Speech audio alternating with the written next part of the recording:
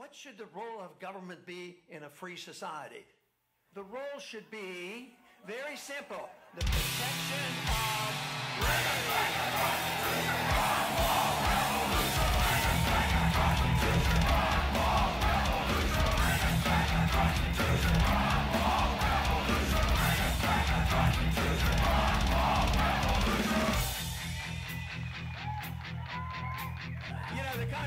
Constitution was written for a very precise manner. It was not designed to restrain the individual. It was to protect your liberties and to restrain the federal government.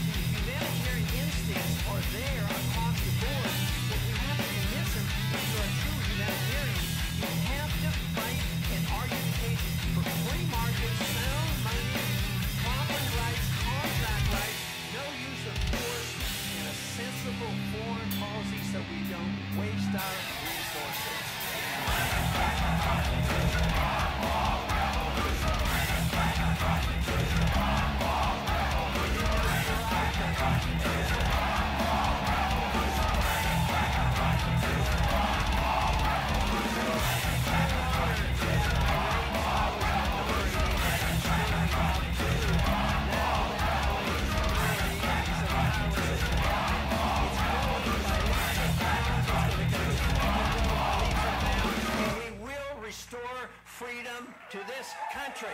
Thank you very much.